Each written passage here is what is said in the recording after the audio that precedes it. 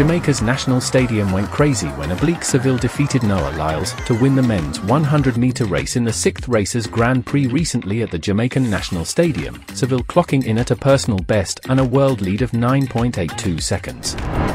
Seville beat his previous best time of 9.86 seconds and took the world lead from American Christian Miller, who ran 9.93 seconds in April. Seville later revealed that he surprised himself after having to back off in training due to a minor injury concern. Well, me and my coach um, was working on the execution throughout the week and the past month and, and coming out here and get a good execution show that the work that they have put in paid off.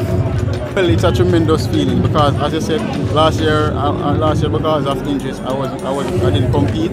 But for this year, I'm actually happy that I compete and get a personal best and win in front of my Jamaican fans. So I'm happy that I compete against Lyles because the, the first time I competed with Lyles last year was the World Championship final.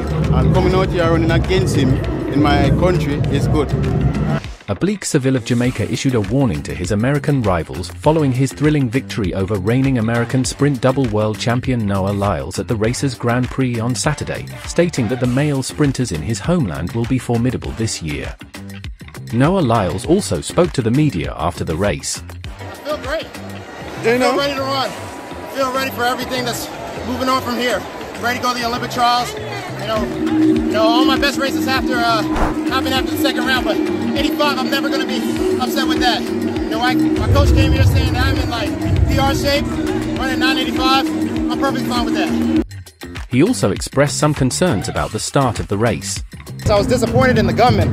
I mean, we none of us were even set. Half of us weren't even set before the gun went off, and uh, that's very disappointing to see. But overall, the race was great. Uh, I came out here, I ran exactly what I thought I was going to run, anywhere faster than 988, and uh, you know, it, you know, just today it just wasn't what the, the win was. It builds nothing but confidence. You know, I'm seeing everybody else in the world, and you know, me and Oblique is leading the, the world right now by leaps and bounds. So at this point, I'm walking into USA. It's like y'all better put something on your chest before I cave in your chest. The result and the manner of Seville's victory over Lyle sent shockwaves through the athletics world and sent Twitter into a frenzy. Even Lyles himself was forced to respond with a post captioned Oh yeah. I'll remember this. See you in Paris at Oblique Seville.